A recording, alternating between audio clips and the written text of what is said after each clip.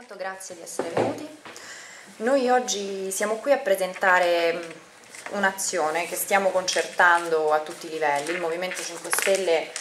vuole muoversi in maniera congiunta per affrontare il tema del gioco d'azzardo. Gioco d'azzardo che eh, non è un gioco, benché la parola a questo rimandi, è un fenomeno estremamente allarmante tanto che eh, la stessa Organizzazione Mondiale della Sanità ha riconosciuto essere una forma morbosa chiaramente identificata, una malattia sostanzialmente, si chiama gioco ma è una malattia. E noi siamo qui per affrontare questo tema in maniera molto forte e molto netta. In realtà parliamo di un fenomeno estremamente pericoloso che non solo determina quindi una patologia, nel, nel giocatore, ma determina anche un, impoveri, un, impoverimento del giocatore e della famiglia stessa. Considerate che dai dati che abbiamo, eh, dati del CNR e dati comunque acclarati anche in seno alla Commissione eh, parlamentare d'inchiesta contro la mafia, ehm, nel nostro paese circa il 42% delle persone ricomprese nella fascia d'età tra i 15 e i 64 anni, cioè 17 milioni di persone, hanno giocato almeno una volta nell'ultimo anno, circa 2 milioni corrono il, il rischio di incorrere in questa patologia e un milione di persone sono sicuramente giocatori d'azzardo patologici, quindi affetti da GAP. Questo è un dato gravissimo, un dato allarmante che eh, a noi francamente fa eh, inorridire. Fa inorridire perché, perché mh, lo Stato, vediamo in questi ultimi anni come lo Stato stia eh, andando nella direzione di favorire il gioco d'azzardo, anziché prenderlo e studiarlo come fenomeno di pericolo sociale, vediamo una pubblicità sempre più massiccia e sempre più pervasiva su tutti i canali che incitano al gioco, al gioco lecito. La scusa è quella di sottrarre utenti al gioco illecito. Considerate che il CONAG, che è il coordinamento nazionale per eh, gruppi per i giocatori d'azzardo, dice che l'Italia, che è sostanzialmente il paese che ha l'1% di popolazione mondiale, in realtà assorbe il 23% del mercato mondiale del gioco online e eh, movimenta un uh, patrimonio di circa 88 miliardi di euro, 88 miliardi di euro, ai quali vanno aggiunti circa 10 miliardi, ma la stima è, effettiva, è ovviamente effettuata eh, per, eh, diciamo, per stima, eh, per approssimazione, circa 10 miliardi deriverebbero dal gioco illegale. Allora con la scusa di sottrarre risorse al gioco illegale si tende a favorire il gioco legale e questo ovviamente con una pubblicità accattivante, una pubblicità fatta come se il gioco fosse appunto un gioco e non una sorta di uh, viatico per, un vero, per una vera e propria malattia, viene fatta con una pubblicità che tra l'altro piace anche ai giovani e soprattutto in un periodo come questo nel quale la crisi economica ci fa vedere e ci fa sostanzialmente stringere la cinghia a tutti quanti, eh, viene anche vissuto come l'unico modo, l'unico strumento attraverso il quale le persone possono riuscire a guadagnare qualche cosa, perché col lavoro non ci si riesce più, spesso il lavoro lo si perde, quindi diventa la soluzione facile. E questa soluzione facile è incentivata dallo Stato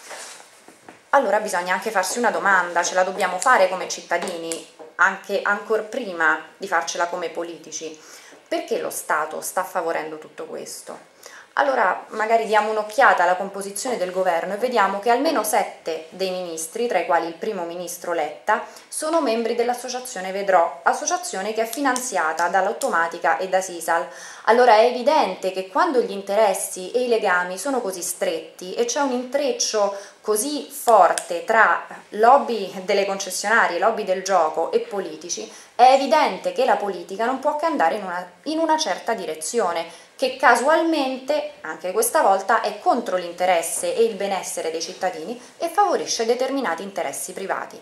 Allora noi francamente non possiamo tollerare questa situazione che è gravissima, che è allarmante e che deve essere assolutamente arginata.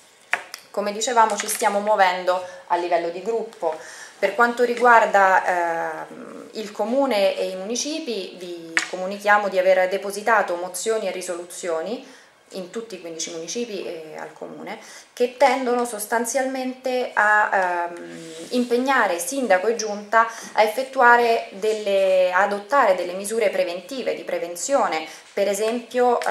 effettuando delle campagne di sensibilizzazione all'interno degli istituti scolastici e all'interno dei centri anziani, ma anche occorre affrontare il momento successivo, quindi non solo una campagna di prevenzione ma anche una campagna di cura, nel momento in cui il gioco d'azzardo è già diventata non tanto un gioco appunto, ma è già diventata una malattia, quindi occorre eh, aumentare le misure di cura e, e dare una stretta sostanzialmente alle possibilità e ai centri che consentano alle persone di trovare una struttura e un soggetto che li affianchi nel percorso di uscita da questa dipendenza perché è una dipendenza vera e propria. Inoltre occorre rafforzare tutti quegli interventi che mirano a prevenire e a impedire il gioco ai minori di 18 anni. Questa è la nostra prima attività in comune, ma eh, diciamo i nostri tavoli di lavoro, come sapete noi lavoriamo per tavoli di lavoro, stanno già lavorando anche ad altro e stanno studiando ulteriori misure e ulteriori attività da proporre, perché comunque la tematica è estremamente importante, estremamente delicata e eh, non possiamo come dire, non possiamo affrontarla in maniera eh, leggera, deve essere eh, affrontata in maniera molto determinata e quindi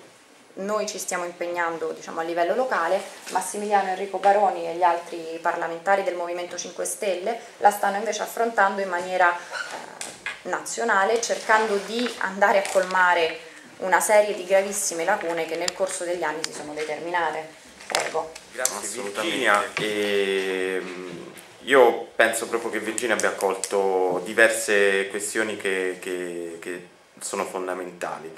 Uh, come Movimento 5 Stelle noi siamo stati assorbiti da moltissime tematiche e soprattutto da decreti che il governo continua a, a proporre al Parlamento eh, in via d'urgenza. Uh, a me sembra che l'unica, uh, una delle grandi urgenze del paese sia questa, uh, questa praticamente eh, difficoltà, questo, ehm, che eh, il paese in questo momento sta avendo eh, in merito a um, come riuscire a coinvolgere i cittadini in, una, in, una, in un progetto culturale, in un progetto produttivo eh, che coinvolga quindi la comunità. E, e, vediamo come effettivamente la politica abbia completamente perso uh, la Trebisonda perché noi abbiamo in questo momento il gioco d'azzardo che è la terza impresa del paese abbiamo uh, le persone che maggiormente spendono in, uh, nel gioco d'azzardo che sono la, la popolazione fragile eh, stiamo parlando di giovani, stiamo parlando di anziani, stiamo parlando di eh, disoccupati, perché eh, molti dati affermano eh, che sono proprio le categorie che in quel momento imprenditorialmente in difficoltà, che si buttano in maniera autistica in queste sale da gioco eh, per cercare di risolvere problemi e preoccupazioni di tipo economico che ovviamente ha, hanno tutti gli imprenditori del paese, tutti i piccoli grandi imprenditori e, ehm, per cercare di uh, isolarsi e creare magari uh, anche una soluzione ai problemi economici della sua famiglia, della sua azienda. È ovvio che nel momento in cui il Paese è, eh, sono in uno stato di uh, profonda insicurezza sociale che deriva dalla recessione, dalle difficoltà che abbiamo nel riuscire a far funzionare una, un sistema economico che è completamente abbandonato a se stesso perché non c'è una visione di ciò che è sano, di ciò che è coinvolgente, di ciò che può essere condiviso. E le persone eh, che mh, provano a fare economia si trovano sempre di più eh, a scivolare nell'abbandono sociale. Questo è il fenomeno del gioco d'azzardo in Italia. Abbiamo praticamente dal 2004 al 2012 una curva praticamente eh,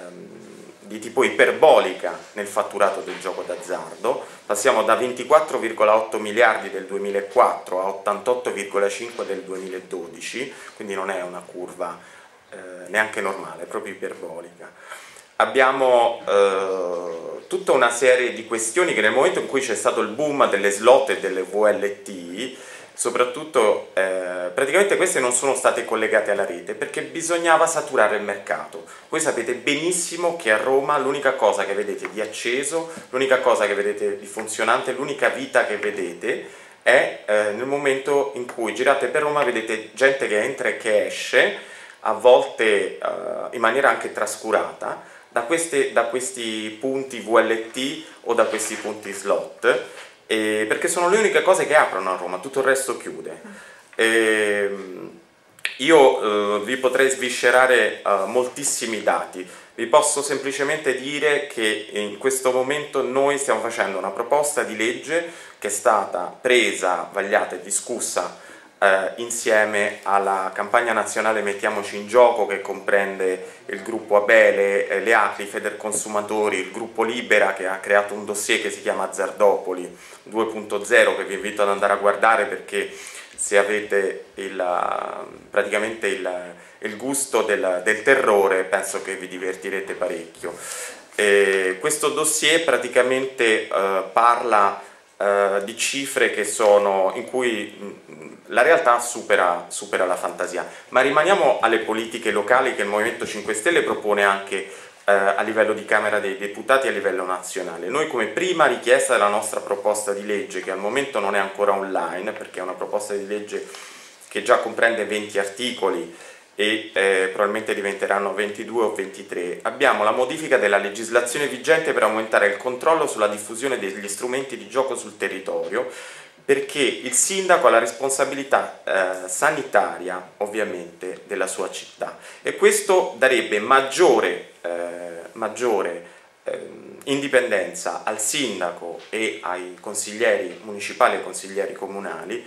eh, per regolamentare gli orari e i luoghi e eh, anche eventualmente escludere popolazioni a rischio. Quindi proponiamo una modifica dell'articolo 50 del testo unico dell'ordinamento degli enti eh, locali. Poi c'è un problema delle tasse. Il problema delle tasse, eh, c'è un'enorme vari variabilità della tassazione dei giochi, perché noi crediamo in maniera importante che ci siano eh, delle collusioni straordinarie tra il mondo dei concessionari, tra eh, l'ente che dovrebbe monitorare questo mondo dei concessionari che è eh, l'autorità autonoma eh, dei monopoli dello Stato che poi si è unificato con quello delle dogane in cui troviamo persone come, come Tagliaferri che è stato riallocato dopo una condanna eh, all'interno della stessa eh, ente di controllo e, ed è diventato il, praticamente lo stratega a livello dei, tra i funzionari eh, dei monopoli dello Stato per per il gioco d'azzardo. E lui aveva già subito una condanna, lascio a voi andare a vedere di che cosa stiamo parlando. E, un altro punto eh, a cui io tengo eh, è perché praticamente quando parliamo dell'autorità autonoma dei monopoli di, de, dello Stato, noi parliamo di uno Stato nello Stato noi parliamo di eh, funzionari e dirigenti, spesso molto vicini, vediamo la sorella di Alemanno, ehm, spesso molto vicini al mondo della politica, al mondo delle fondazioni, che praticamente eh, danno la politica al governo su cosa legiferare, su che tipo di decreti governativi devono far passare al Parlamento. Il, il Parlamento sappiamo bene che non riesce a stare dietro a questi lavori, non si specializza, non studia, non si fa carico delle problematiche dei cittadini nazionali e quindi non vengono fuori queste cose. Cioè non vengono fuori che praticamente abbiamo il, grande policy maker che dovrebbe essere eh, il Parlamento e invece l'autorità autonoma monopoli dello Stato perché dà la direzione a tutti. Questa cosa è assolutamente intollerabile considerando la zona grigia che abbiamo tra eh, le concessionari, l'ente autonomo monopoli dello Stato e il governo. Questa zona grigia è anche rappresentata eh, dallo stesso Giorgetti, che ha una delega a dir poco eh, morbosa nei confronti eh, della gestione per il governo eh, in materia di regolamentazione del gioco d'azzardo. Una regolamentazione da cui noi non ci possiamo assolutamente eh, ehm, proprio levare, non ci possiamo assolutamente eh, sottrarre. Parliamo di uh, uno Stato che guadagna sull'intero uh, giocato italiano, che sono 88,5 miliardi, lo Stato guadagna solo il 10%. Io non capisco come mai il, il piccolo, eh, diciamo, eh, il panificio sotto casa, magari in questo caso no, però il, il, il pizzicarolo sotto casa paga il 20% di tasse e sull'indotto del gioco d'azzardo noi abbiamo un 10% di tassazione totale, in cui i giochi che, eh, su cui eh, l'italiano gioca di più, eh, parliamo di nuovo di un italiano fragile, di un italiano confuso, di un italiano in difficoltà, di un italiano patologico, perché abbiamo un milione, come ha detto prima, come ha detto prima anche Virginia, abbiamo un milione di giocatori d'azzardo patologici secondo la Commissione parlamentare antimafia. Abbiamo lo stesso Beppe Pisano che praticamente afferma che per ogni euro giocato a livello legale c'è un indotto intorno di tipo indiretto di 8 euro di, 8 euro di, eh, di attività illecite che praticamente creano eh, indotto per eh, le attività eh, mafiose e, e, criminali. Tutti questi sono dati pubblici e eh, io credo che un giornalista, se si dedicasse un mese di studio, potrebbe veramente fare una carriera su questi dati, perché come dai una schicchera a questo mondo, escono fuori le croste e il pus. Eh, io questa è una, è una, mappa concettuale che ho tirato giù in 5 minuti, perché eh, le, i dati che noi abbiamo in materia non di protezione delle, ehm, delle persone che sono eh, già patologiche o delle persone che praticamente eh, creano grandissima sofferenza alle loro famiglie, ehm, io adesso mi fermerei un attimo perché vorrei, vorrei, perché è un tema che mi appassiona molto e abbiamo fatto grazie anche ai collaboratori eh, che ci stanno dietro, il Movimento 5 Stelle, eh, anche uno studio eh, comparato di tutte le proposte legislative eh, in materia di gioco d'azzardo e di gioco d'azzardo patologico, quindi abbiamo confrontato tutte le altre proposte che sono state depositate, ne hanno depositate 19, eh, sono in visione solo 12 e, e praticamente eh, e, mh, mm, si riesce immediatamente a vincere che c'è un'enorme copia e incolla, cioè i legislatori non riescono a, ad avere una visione della problematica in questo momento nel paese, di come, questo, di come incentivare il gioco sia in verità sottrarre risorse importanti, creative, esplorative al paese, magari risorse di persone creative che però in quel momento sono sotto scacco per la crisi economica. Eh, quindi abbiamo un mondo veramente eh, rovesciato. Eh, io ripasso un attimo la, la, la, palla a Virginia perché eh, ha fatto una mozione con tre punti che sono importantissimi e che sono comprese nella nostra proposta di, eh, di legge. Grazie, grazie. Io per, ehm, per concludere vorrei anche dire una cosa. Prima stavamo parlando insieme di quella che è stata la, un po' l'iter delle, delle, nostre attività, noi in comune e nei municipi, loro all'interno delle commissioni parlamentari e ehm, quello che mi, è, che mi, è, piaciuto anche come proposte positive immediate, anche di, di semplice percezione, è quello che stanno inserendo per esempio per quanto riguarda il divieto della pubblicità, cioè noi vieteremo la pubblicità del gioco d'azzardo, perché se il gioco d'azzardo crea dipendenza e crea malattia e crea povertà, allora la misura che lo Stato deve adottare è il divieto della pubblicità, non c'è un'altra via noi stiamo inserendo all'interno di questa proposta l'obbligo dell'etichettatura per le macchine, per i gratta e vinci e per internet, obbligo di, etichettatura che dovrebbe riportare con la formula che si vorrà poi adottare nello specifico, ma comunque questo messaggio, il gioco crea dipendenza, il gioco può ridurti in povertà, inoltre il gioco deve essere vietato ai minori di 18 anni. Sono cose molto semplici, sono cose immediate che possono essere eh, fatte immediatamente. Vogliamo capire e dobbiamo testare il governo su queste che sono cose ecco, semplici e immediate per effettivamente poter toccare con mano dove vuole andare questo governo di larghe intese perché insomma voglio dire le larghe intese dovrebbero anche ricomprendere un po' il benessere dei cittadini e non solo il benessere di chi in queste larghe intese ci entra. Un'altra misura molto interessante è la creazione di un osservatorio ehm, partecipato dal Ministero dell'Istruzione, il MEF, l'ANCI, le associazioni di cura del GAP e associazioni di volontariato sociale, sostanzialmente per elaborare delle linee guida per la prevenzione del gioco d'azzardo. Inoltre mi sembra, se eh, tu mi consenti, io posso già no? dare questo dato, eh, una comunque delle misure che sostanzialmente poi vanno anche nelle direzioni auspicate dal Movimento 5 Stelle e che lui giustamente stava prima riprendendo per quanto riguarda i dati economici, noi vorremmo che l'1% eh, di quanto percepisce lo Stato e dell'indotto, probabilmente del giocato, sia dedicato e destinato a un fondo per la cura di queste malattie e il 2% sempre dell'indotto vada a costituire sostanzialmente il fondo per il reddito di cittadinanza. Signori, noi i soldi li abbiamo, lo Stato i soldi li prende dove li vuole prendere e poi ovviamente non li prende dal gioco d'azzardo, non li prende per esempio dalle transazioni finanziarie, però va a colpire sempre i cittadini, va a colpire sempre le imprese. Ricordiamoci che negli ultimi anni noi abbiamo avuto quasi un, un suicidio di un imprenditore al giorno, è un dato gravissimo, è un dato gravissimo per l'Italia che è un paese nel quale la, la, ripresa economica stenta effettivamente a decollare. Allora, quando gli imprenditori, che sono persone che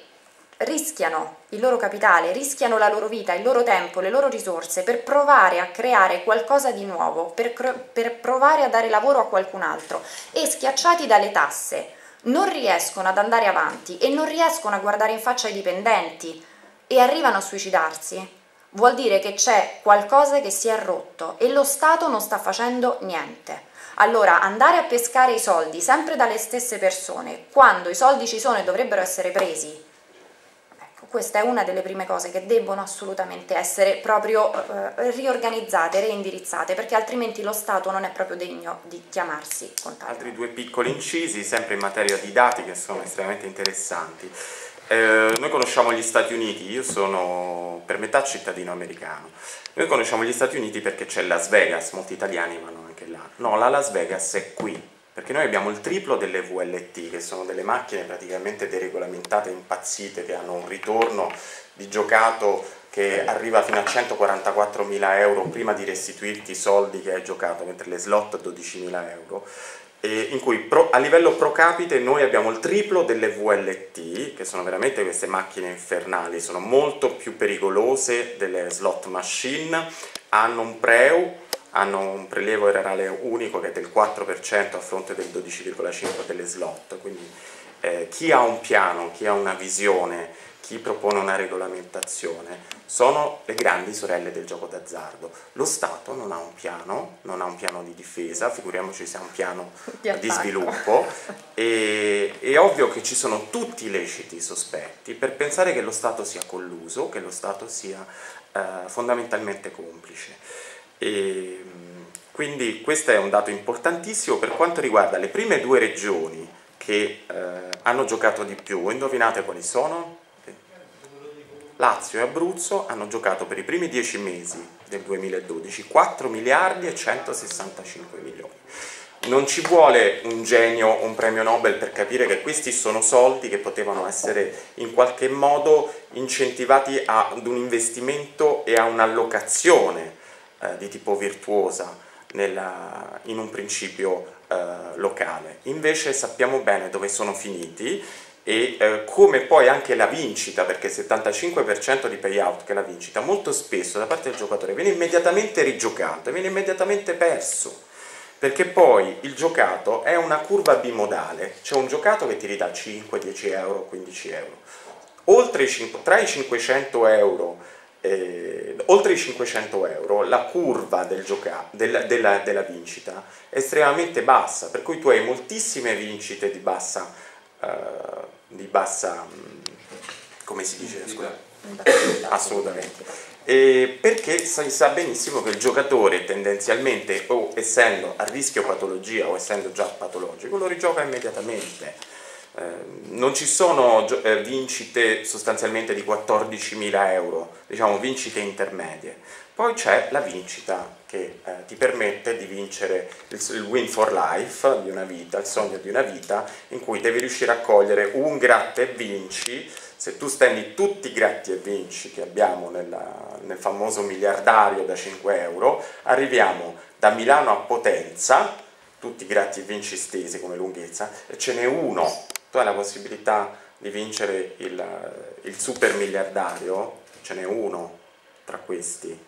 e quindi non lo so quanto bisogna camminare, se effettivamente chi gioca abbia la reale percezione di quello che sta facendo, oppure se forse abrogando leggi inutili dobbiamo tornare a una situazione sostanzialmente, sostanzialmente eh, precedente a quella che abbiamo adesso, in cui c'è una liberalizzazione selvaggia fatta apposta in termini di tassazione come i giochi online, i giochi online sono tassati dell'1% e aumentano del 12,6% all'anno, in cui la possibilità di controllare il giocatore è minima. Il minorenne facilmente può utilizzare una carta di credito di un, di una, di una, di un familiare. E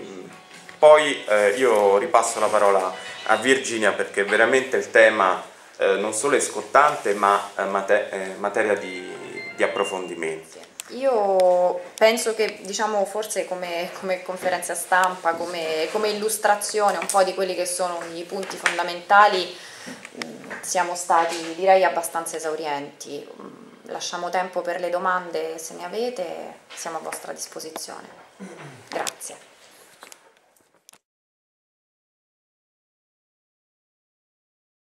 Questa è una domanda che in realtà, se posso rispondere, non credo si limiti solamente al gioco d'azzardo. Il sistema delle amicizie, come tu lo hai definito, è un sistema che definire amicizie diciamo, è fargli proprio una grande gentilezza. Qui parliamo di un sistema di collusione e di diciamo di collusione di poteri, mettiamola così, dello Stato e del non Stato. Tu l'hai chiamata mafia, la possiamo chiamare come vuoi il sistema per combattere tutto questo è ripristinare la legalità,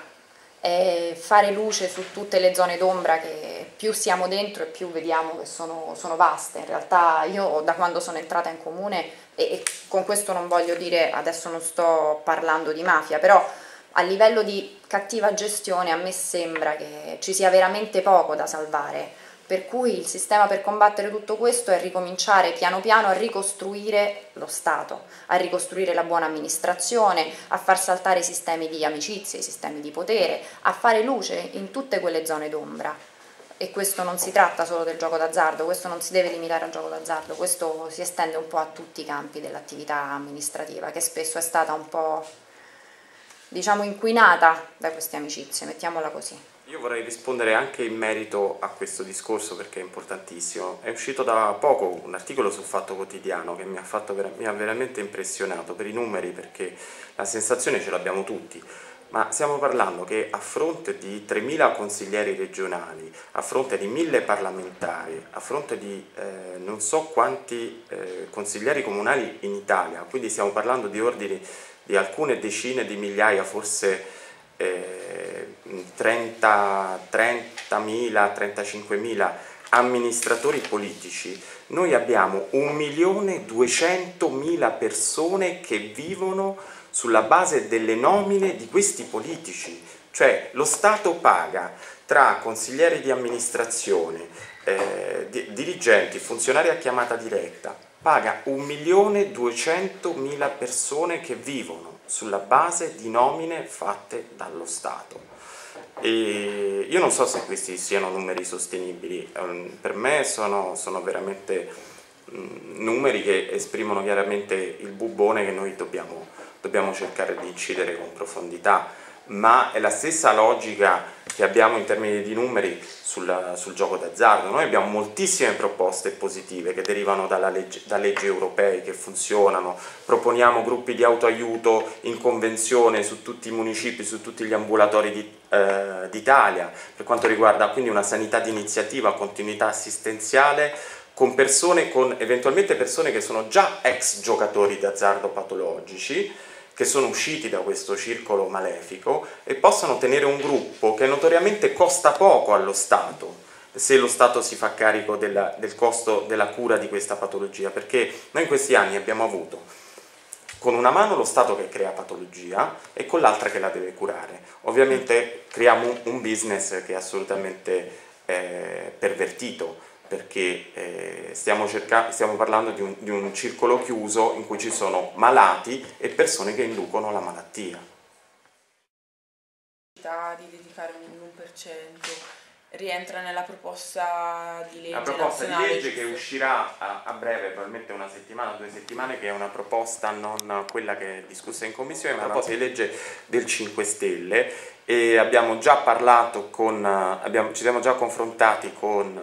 i, le persone che hanno elaborato eh, studiando il reddito di cittadinanza, noi prevediamo in questo momento un 2% di prelievo dall'intero eh, giocato nazionale per andare a finanziare il reddito di cittadinanza, anche perché pensiamo che nel momento in cui diminuirà l'indotto del gioco d'azzardo, ovviamente il sistema eh, economico eh, italiano sarà maggiormente virtuoso, tale per cui ci sarà meno bisogno del reddito di cittadinanza, perché noi non vogliamo che gli italiani eh, tra virgolette, eh, abbiano bisogno del reddito di cittadinanza. Quella è un reddito di dignità per chi in quel momento non ha nessun tipo di introito a livello reddituale, eh, che è una cosa ben diversa. Insomma.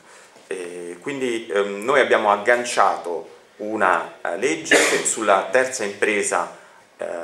del, uh, nazionale eh, per cercare di riallocare le risorse. Quello, il nostro grosso sforzo è quello di riallocare le risorse in una visione che possa essere condivisa da parte di cittadini sani ma anche arrabbiati, perché eh, io e Virginia su questo, su questo siamo arrabbiati e non molleremo.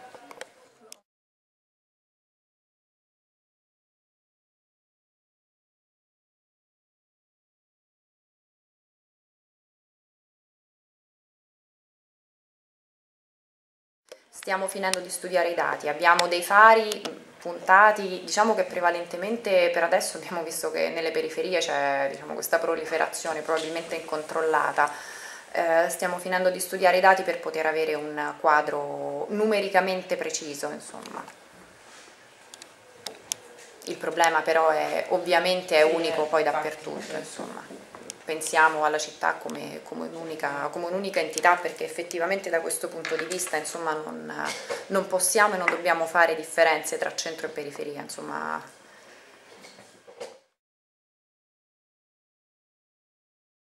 Questi dati noi li, me, sono dati pubblici. miei? O a, sì, questi che sì. dati pubblici, abbiamo dati dell'OMS, quindi l'Organizzazione Mondiale della Sanità, del CNR, del Censis. Ma la sono anche su internet? Sì, sì. sì. Dove? Eh, a seconda del eh, abbiamo lavorato molti mesi per aggregarli però eh, una nostra fonte la campagna nazionale mettiamoci in gioco che comprende associazioni come ACLI, Federconsumatori, eh, il gruppo Abele che a loro volta avevano già aggregato questi dati. Eh, quindi eh, in, li, in, in, buona parte li trovi già su internet perché loro stanno facendo un lavoro come cittadini coinvolti da questa problematica già da molti anni, cioè il Conaga ha preso in carico più di 3.000 giocatori d'azzardo patologici e dichiara di averne guariti e curati oltre 1.500 senza nessun tipo di sovvenzionamento dallo Stato, è un'associazione. E ovviamente hanno fatto uno studio sistematico ed è possibile, se tu vai a vedere la campagna nazionale Mettiamoci in gioco, trovi moltissimi dei dati che noi abbiamo detto oggi e oltre anche alla Commissione parlamentare antimafia che eh, ha fatto molte dichiarazioni che sono assolutamente in linea. E poi eh, ci sono dei dati eh, di tipo europeo, ma la cosa interessante è che l'AMS aveva dichiarato, l'autorità autonoma monopoli dello Stato, a un certo punto che non voleva più fornire dei dati alla cittadinanza perché dice che praticamente i dati eh, creano la sponda per eh, luoghi comuni che non va bene che i cittadini siano a conoscenza. E questo è uno delle, delle, delle famose, eh, dei famosi scandali, insomma, um, quando parlavo di uno Stato nello Stato, eh, cioè un funzionario del, dell'autorità autonoma monopoli dello Stato che dice no, è, più, è opportuno non fornire dati, ce li teniamo solo noi e il cittadino rimanga fuori da questa gestione. E, è assolutamente intollerabile. I dati in verità, eh, quelli che uh, possiede l'AMS, l'AMS stessa non ha dei centri di ricerca o dei centri cioè, scusa, statistici, quindi si appoggia all'Istat. X dice io non posso darvi i dati. È legale o illegale questa cosa che fa? E, eh, per quanto dipende, perché ovviamente sono i dati grezzi e i dati aggregati. I dati grezzi sono a disposizione di tutti, però i dati grezzi non sono, ehm, non sono molto spesso leggibili, perché eh, io posso fornirti anche 1200 pagine di dati grezzi. Poi devono essere sostanzialmente ehm, aggregati per, uh, per, capire uh, come si incrociano questi dati, perché nel momento in cui tu incroci i dati trovi la verità eh, questo è il lavoro che noi stiamo cercando di fare, incrociare i dati, OPSAD, Istat, eh, Eurispes, Commissione parlamentare antimafia eh, e poi anche dati forniti dalle stesse 10 sorelle eh, che sono i concessionari che però preferiscono molto spesso tacere eh, noi sappiamo, per esempio, perché siamo in contatto con eh, persone che lavorano all'interno dei concessionari che ci scrivono, che eh, la famosa multa dei 98 miliardi, eh, gli stessi concessionari sapevano che loro sarebbero andati a, eh, incontro a queste sanzioni, ma per loro era più importante saturare il mercato entrare con le loro slot all'interno del territorio, coprire completamente il territorio, piuttosto che adempiere alla legge che gli diceva che per ogni slot e per ogni VLT, e stiamo parlando che ogni slot, ogni VLT fattura praticamente eh, 10.000 euro al... Eh, vabbè adesso questo dato non, non me lo ricordo, e, ehm, praticamente era più importante eh, riempire di slot di VLT il territorio eh, piuttosto che collegarlo alla rete. Cioè, quindi loro stavano facendo degli illeciti sapendo e perpetuando una filosofia dell'illecito. Quindi 98 miliardi sono arrivati i, eh, praticamente con le 10 sorelle che erano molto più preoccupate di eh, prendersi fette eh, di mercato e fette di territorio piuttosto che mettersi in regola. Quindi queste sono ovviamente politiche di marketing che eh, abbiamo detto creano patologia e creano danno in sicurezza sociale. Eh, I dati, soprattutto il cittadino, ce l'ha davanti agli occhi tutti i giorni, basta semplicemente che si fidi del suo intuito. Eh, poi noi li, li pubblichiamo tutti, insomma. Li studiamo e li pubblichiamo.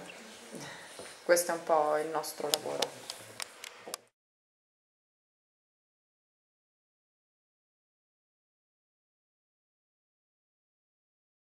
Noi eh, dovrebbe controllare eh, perché praticamente la rete Sogei, siccome parliamo del... Ah, come? Uh, telematicamente per quanto riguarda la più grande fetta del mercato del gioco d'azzardo, che sono le slot e le VLT, sono quindi il 55% cioè, del mercato. No, ha una rete informatica in cui tutte le slot e tutte le VLT dovranno essere collegate. È privata o è dello Stato? Eh, questa è una domanda molto importante, questa che hai fatto è una domanda estremamente importante per capire esattamente quello che sta succedendo, perché la rete è stata costruita e, eh, ed è gestita dalle concessionarie, però praticamente lo Stato ha il diritto di prelazione nel momento in cui se ne vuole riappropriare. Quindi lo Stato in teoria, cioè l'autorità autonoma monopoli di Stato, dovrebbe fare dei controlli a livello ispettivo che tutto funzioni, però è gestita e eh, assolutamente dalle, dalle concessionarie. Questo... Cioè, semplificando potremmo dire che sono i controllati che si controllano. Eh, no? Esattamente.